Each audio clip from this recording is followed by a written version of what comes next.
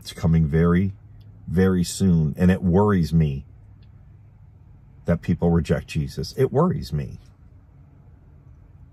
I have a heart for the lost. I don't want to see one person spend eternity in hell. I don't want to see one person be left behind. I know, I know that wide is the path to destruction. I know that many more people will spend eternity in hell separated from God because they reject Jesus. But I still have a heart for them.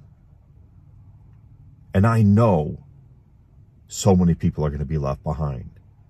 I know it, but I have a heart for them because it's so unnecessary. Jesus is a gift from God.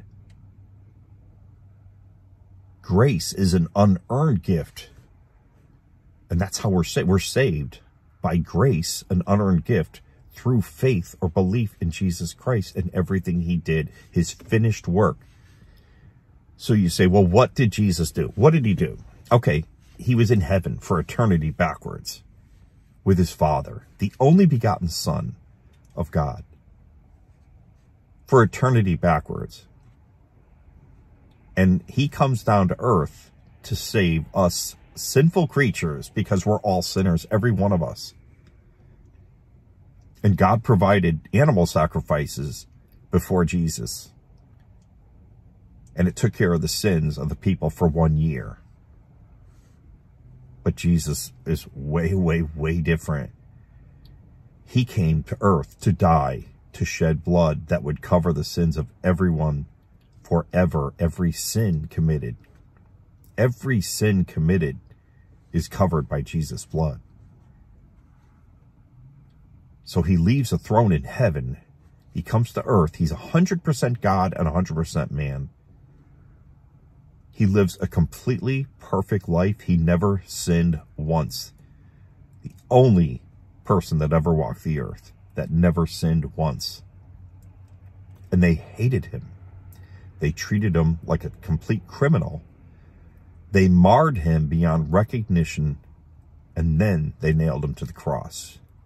And he shed that precious blood that, as I said earlier, it can wash us white as snow it removes our sin as far as the east is from the west.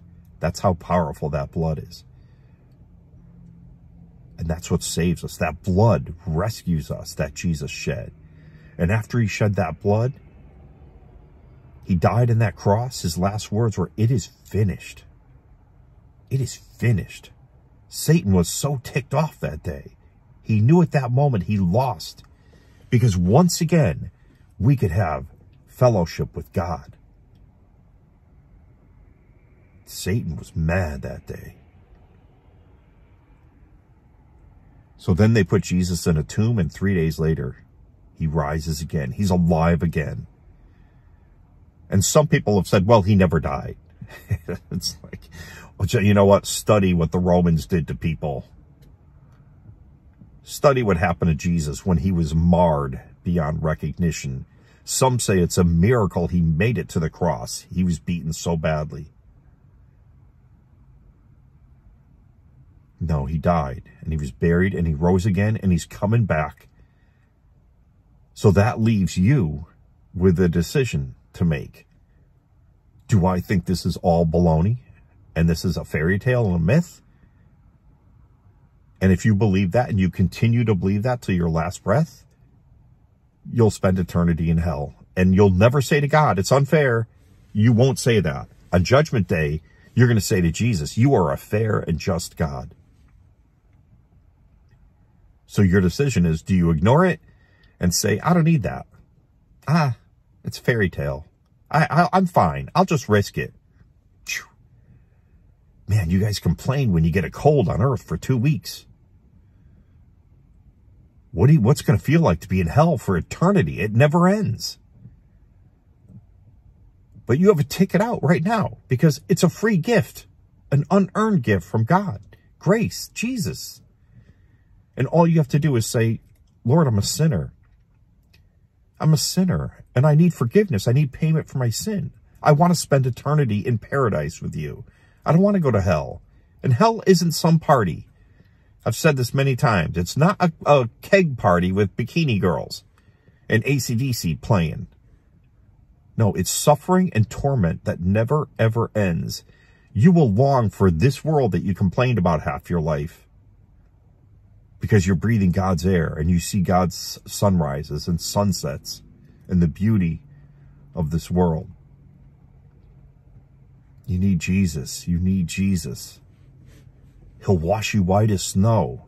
He'll give you eternal life. I just, I put this in front of you. And if you're still watching this and then you reject it one day, you're going to see this again and you're going to go, I had an opportunity. And I said, I'm not listening to that crazy bald guy. You need Jesus.